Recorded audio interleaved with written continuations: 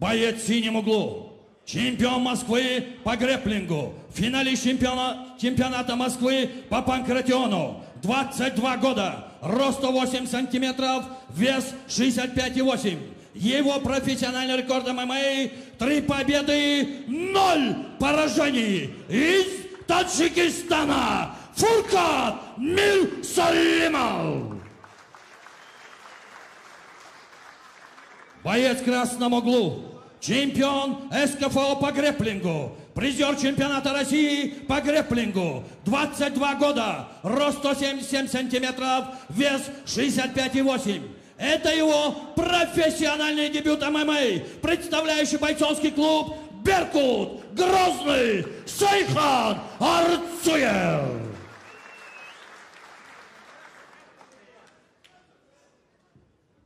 Уважаем друг друга. Внимательно слушаем команду. Соблюдаем правила. Затылок не бьем, позвоночник не бьем. Колено в голову только в стойке. Локтями работаем только в корпус ноги.